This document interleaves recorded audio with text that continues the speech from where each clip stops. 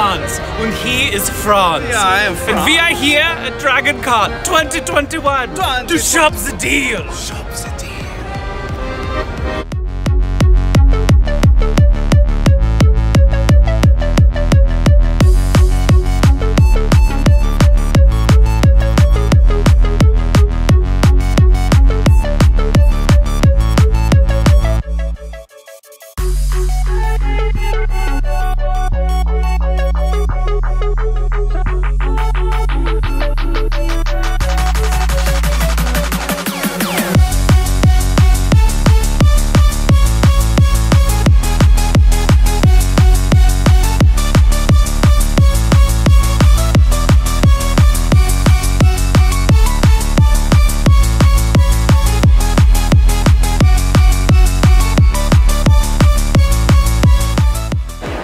It's a deal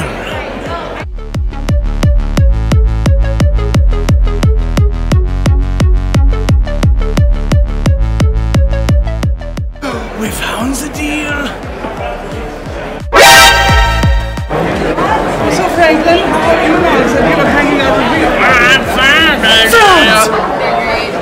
What the hell is this? Is this a puppet? Do you see how much that puppet cost? It was only three dollars and thirty fifty fifty cents. No, Frans, that's three hundred and fifty dollars. But he was worth it, wasn't he? No, that's a stupid puppet.